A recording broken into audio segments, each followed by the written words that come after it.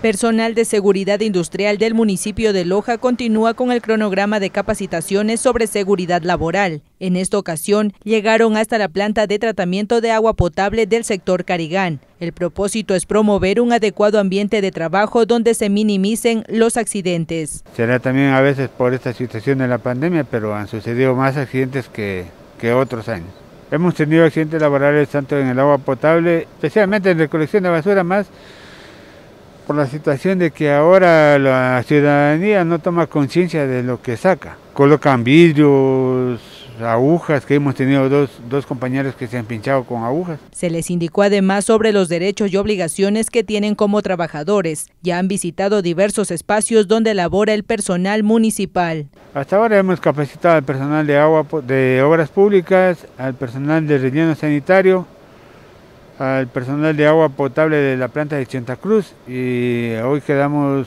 con los de aquí en la planta de agua de Carigán y en la tarde estaremos con de la planta de, de asfaltado de la tenería. A más de facilitarles información sobre cómo prevenir los accidentes laborales, también hacen entregas de implementos de bioseguridad a fin de garantizar su salud en el desarrollo de sus tareas.